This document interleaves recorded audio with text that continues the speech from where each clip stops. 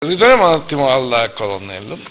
L'evoluzione, lei l'ho già accennato prima, di un esercito che oggi è un esercito di professionisti, ma è un esercito, quello italiano, anche un po' in giro per il mondo. Noi stiamo parlando di Libano, ma ci sono altre missioni nel mondo, alcune più, alcune meno pericolose. Voglio dire, ma chi ci porta a noi ad andare a rischiare la vita in giro per il mondo? Questa è una domanda quasi, quasi, quasi filosofica. Quasi filosofica. Noi siamo una istituzione forte dello Stato, antica, che ha seguito lo Stato nella sua, nella sua evoluzione e siamo fedeli alle istituzioni democratiche. Di conseguenza quando il Paese chiede l'intervento di militari e decide di spendere i suoi figli in divisa in altri paesi, noi partiamo, noi ci addestriamo e siamo pronti a operare in quelle terre, ma non ci, non ci domandiamo mai il perché partiamo. Noi partiamo in ossequio al nostro antico eh, senso del dovere e spirito di obbedienza. Questo è quello che si chiama il militare in generale, però molte volte il civile questa, non la percepisce questa cosa. Ecco, perché però voi ci credete alla fine? Cioè, non è solamente un ordine che arriva dal comando maggiore, voglio dire, il militare, come, lo faceva notare Antonella prima che non è militare, e eh, vive il momento che può essere da quello dell'alza bandiera magari al momento, non so quali saranno gli altri eh, simbolici di, di, una missione, vive, vive, con un pathos particolare. Ecco, cosa ha dentro di diverso dal civile e il militare? Già quando si, si sceglie di abbracciare questa vita si fa una scelta ben precisa. Eh, l'uniforme, come diceva Antonella prima, che ci rende tutti quanti uguali, vuol dire che noi subordiniamo l'essere individui all'essere collettività quindi noi ci configuriamo con il Paese, questa è la nostra forza. E diciamo che muoviamo i nostri passi fin da piccoli, sia i militari di truppa, sia i sottufficiali che gli ufficiali negli istituti di formazione. E veniamo educati proprio allo spirito di servizio per la collettività. Noi siamo l'espressione del Paese.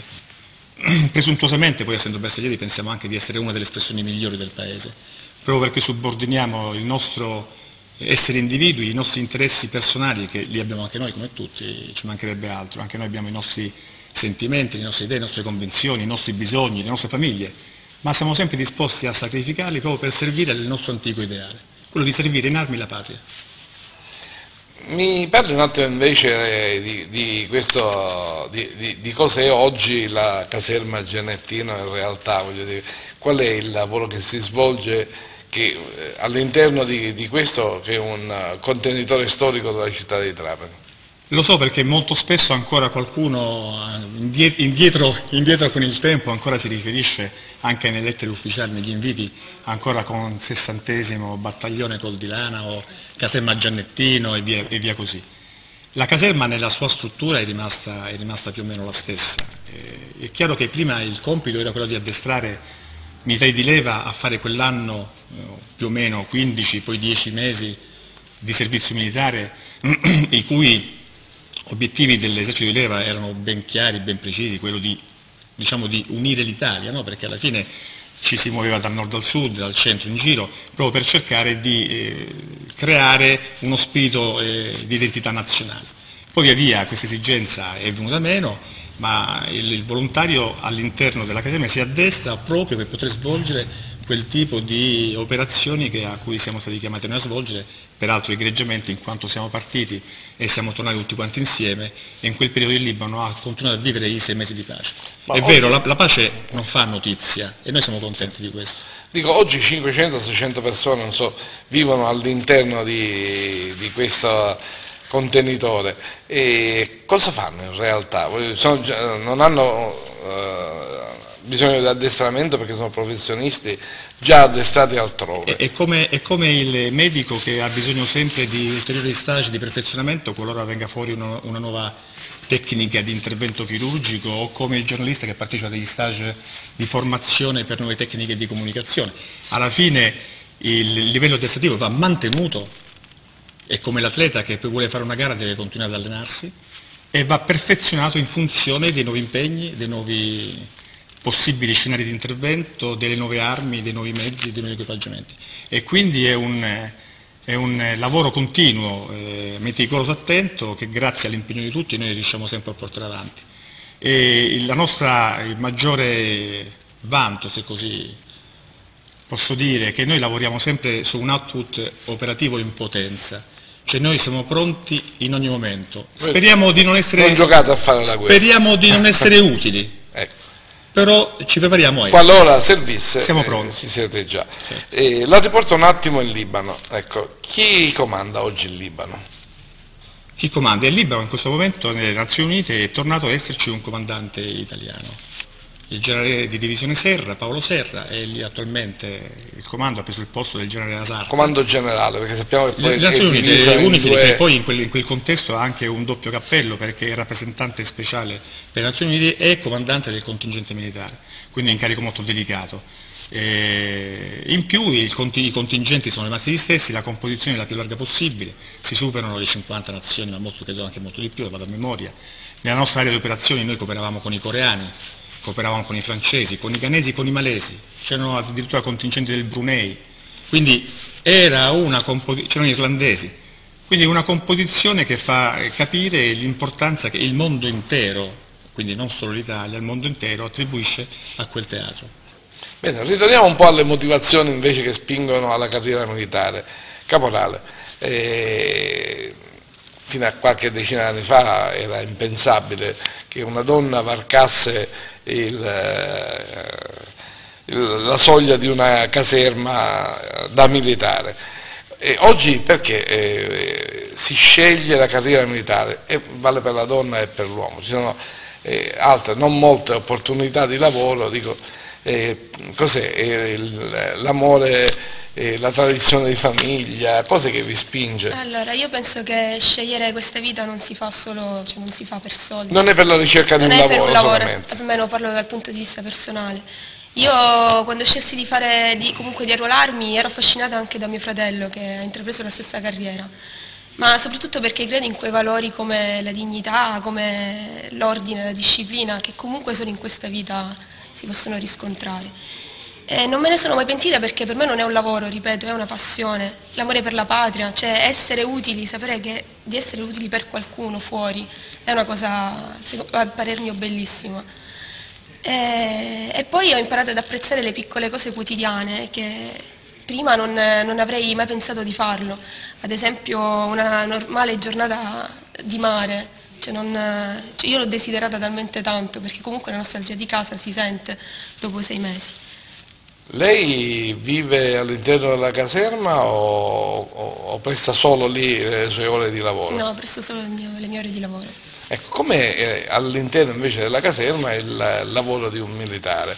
Ecco, eh, i bersaglieri sono noti soprattutto per la loro attività fisica, voglio dire che insomma eh, se ne fa a iosa. Ci spieghi un po' qual è la vita, ecco, lei arriva al mattino, timbra, Esatto. ecco, eh, l'impiegato del comune si siede dietro, dietro una poltrona, lei comincia a fare giri di campo, no? No, ovvi- ovviamente sì, c'è molta educazione fisica, eh, si studia, si ripassano le armi, quello che prevede che debba conoscere un soldato, appunto perché dobbiamo sempre essere preparati.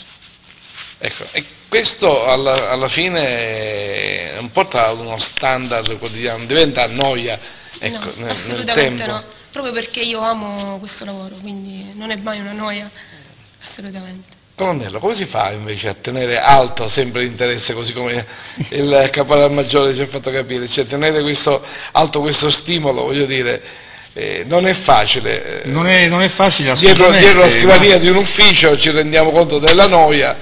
eh, da non è voi facile non è assolutamente, però ripeto, il primo caporale maggiore Borruto ha evidenziato bene che c'è di, sottofondo la passione.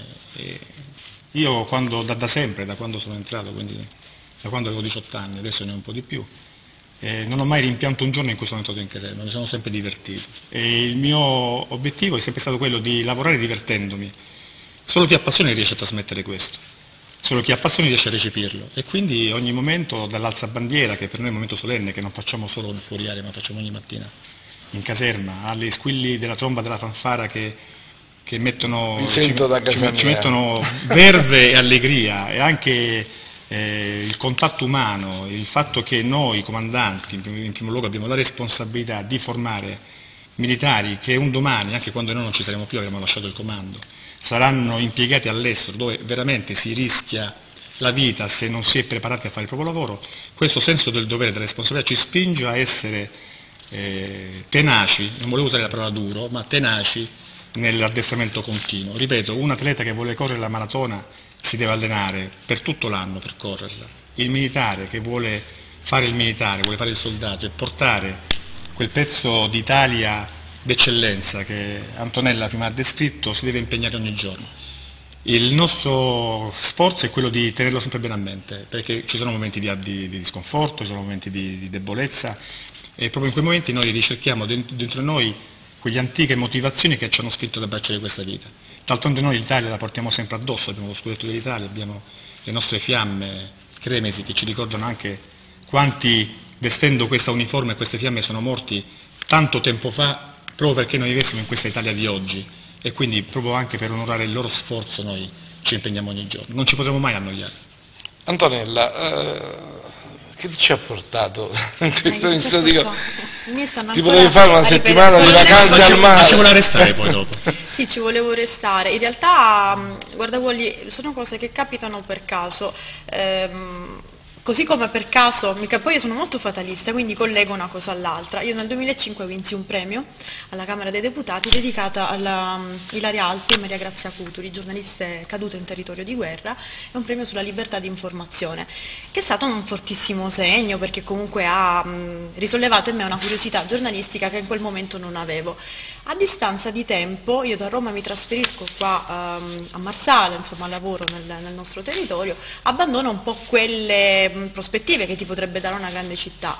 Ironia del caso, io in quanto detto stampa dell'UNESCO di Marsala, che eh, insieme al Maggiore Patti ha promosso questa iniziativa di raccolta farmaci e di materiale didattico in vista eh, di questa missione, proprio per donarla alla popolazione del Libano, del Sud, che è insomma, bisognosa proprio di, di, assistenza sanitaria primaria, eh, ci siamo ritrovati in occasione di questa consegna e lì eh, mi si è aperta questa porta, la possibilità in quanto giornalista di poter eh, partecipare per un breve periodo a questa missione, andare a vedere con i miei occhi eh, sia come veniva articolato. Quindi è stata proprio ospite, voglio dire, del, del contingente italiano, quindi vivevi con loro, non eri in albergo. seguito, letteralmente, colonnello no, interpreto io il, il, termine embedded previsto, ehm, sì, al seguito dell'esercito, quindi loro in realtà non mi hanno lasciata un attimo perché ero eh, veramente sotto sorveglianza speciale e questo devo dire che mi ha eh, messo molto in difficoltà perché insomma una giornalista che fondamentalmente è molto libera anche nel, nell'esercizio della propria professione,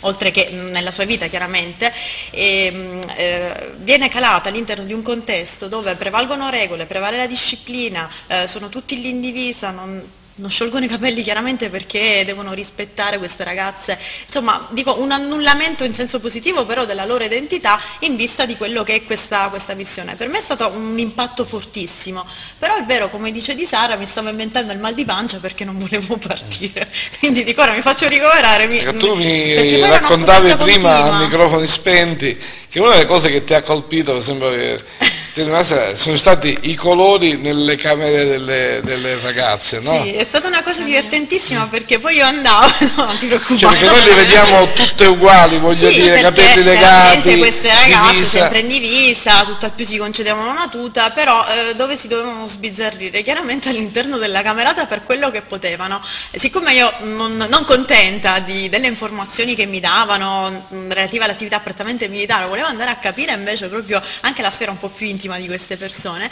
Allora una sera sono andata nelle camere delle ragazze, ho aperto questa, questa stanza, ho trovato di tutto chiaramente per arricchire e per dare un po' di colore eh, insomma, a questa loro missione. Nostalgia di casa. esatto, nostalgia di casa, dalle lenzuola colorate a insomma, tante altre cose che attaccavano magari nelle pareti giustamente per avere anche un angolo da sentire un po' più proprio, insomma sei mesi sono eh, sicuramente tanti. Caporale Borruto, come passano sei Primo mesi? Caporale maggiore. Primo caporale maggiore. Scusi, non, così il lessico dei militari. Sì. E come passano sei mesi in Libano?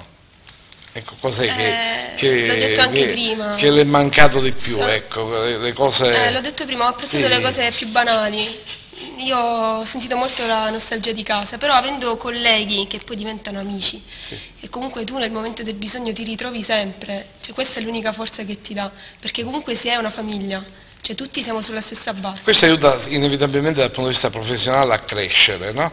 Perché Sì. sicuramente ci si Anche- abitua ad, a, a quelle che magari sono le cose più banali del quotidiano che ti manca. Lasciamo stare il mare di casa, Sì. ma voglio dire anche il pigiama di casa. Il pigiama. Eh, no? Quindi questo sicuramente è fra le cose che vanno annoverate, ma alla fine tutto questo serve, vi rendete conto quando ritornate a casa, vi fate un, un esame e dite, beh, valeva veramente la pena Sì, perché... sì, perché io ho avuto modo di parlare anche con delle donne del posto e ci apprezzano tantissimo. Cioè passare con il mezzo su- sulla strada e incontrare anche de- dei bambini che ti salutano e ti chiamano italiano, italiano, c'è già c'è tanto. Regalare un sorriso a chi ne ha bisogno è una cosa veramente importante. Ecco, ma questa gente di cos'è che oltre dei sorrisi ha bisogno? Ecco, nel quotidiano. Sicuramente come cioè noi abbiamo tutto, io ho visto questo, cioè noi non possiamo lamentarci di nulla, c'è gente che sta peggio di noi. Sicuramente vorrebbe avere una sicurezza, un paese più sicuro, più libero. Ecco, per ottenere questo quanto noi possiamo essere di aiuto a queste popolazioni? Già con la nostra presenza è tanto, loro hanno bisogno di noi, cioè loro la nostra presenza l'accettano totalmente. Ecco, ci sono momenti in cui invece c'è un po' di scollamento, eh, ma chi me l'ha fatto fare? Non. No. sarà successo una volta in cui... Vabbè, ma perché si è presi dalla rabbia, ma non, Eh. non si pensa Però, realmente. appunto, in realtà non- Cioè io lo rifarei mille volte. Cornello, siamo in chiusura. Eh, io vorrei che lei adesso invece eh, lasciamo stare il Libano, le missioni, le guerre e quant'altro, invece mh, facesse capire ai nostri telespettatori eh, perché è importante ancora oggi eh, mantenere in vita le forze armate e soprattutto ecco, perché è importante credere in queste istituzioni. Mi fate un'altra volta una domanda che non, non sta, non sta a me, io come se facessi... Eh, lei lei l'ha fatta questa scelta. come se- io quindi posso, posso dire il motivo, subita, il motivo per lei. cui ho scelto di fare questa professione.